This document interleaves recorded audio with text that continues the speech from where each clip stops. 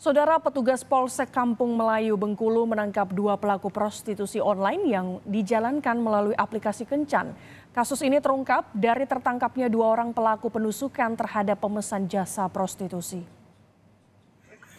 Dua pelaku RJ dan DR ini ditangkap oleh unit reskrim Polsek Kampung Melayu karena melakukan penusukan terhadap dua orang yang memesan jasa prostitusi online di kota Bengkulu. Dari penangkapan inilah kasus prostitusi online di wilayah kota Bengkulu dibongkar pihak kepolisian. Berawal dari korban yang memesan jasa seorang wanita namun membatalkan pemesanan karena tak sesuai dengan permintaan korban. Kemudian datanglah kedua pelaku yang tiba-tiba menusuk korban di bagian dada. Setelah ditangkap, terungkap kedua pelaku menjual jasa wanita penghibur sebesar Rp250.000 untuk sekali kencan. Wanita tersebut tak lain merupakan pacar pelaku sendiri. RM dan awalnya itu mengungkap kasus terjadi pengeroyokan atau penganiayaan dengan korban luka tusuk.